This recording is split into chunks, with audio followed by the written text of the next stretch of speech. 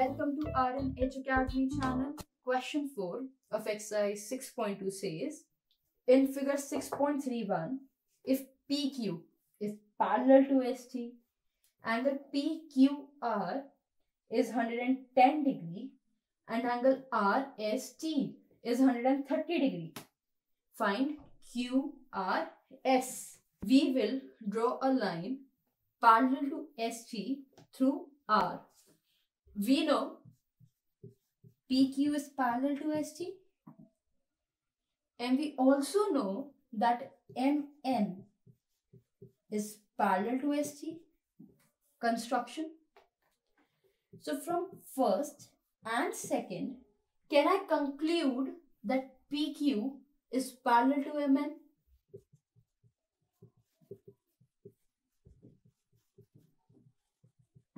Hence, MN is parallel to PQ and MN is also parallel to ST. It means PQ is parallel to MN, MN is parallel to ST. That means all the three lines are parallel to each other. Now let's find out angle QRS. PQ is parallel to MN, we know that. QR is a transversal because it intersects line PQ and MR. Theorem 6.4 says if a transversal, that is QR, intersects two parallel lines, MN and PQ, then each pair of interior angles on the same side of transversal are supplementary. That means sum of angle PQR and angle MRQ is 180 degree. So PQ is parallel to MN. QR is transversal. Hence, angle PQR plus angle MRQ is equal to 180 degree. Why? Because interior angle on the same side of transversal are supplementary. Angle PQR is 110 degree. Angle MRQ is 180 degree minus 110 degree which is equal to 70 degree. exactly. Hence angle MRQ is 70 degree. Now look carefully. ST is parallel to MN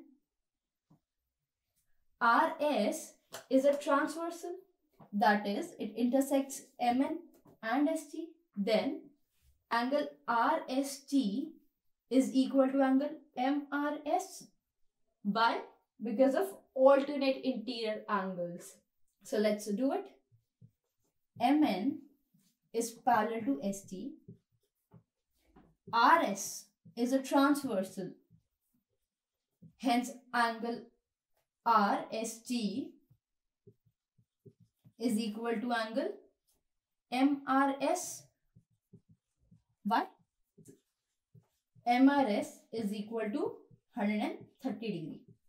Can I write angle MRS as summation of angle MRQ and angle QRS?